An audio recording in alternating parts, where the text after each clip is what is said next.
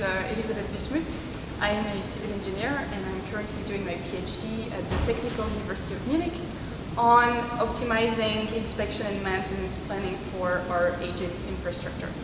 I joined the Cost Action TU 1402 in 2016 and the action is focused on uh, determining the added value of um, the monitoring, the collection of data for these uh, aging infrastructure.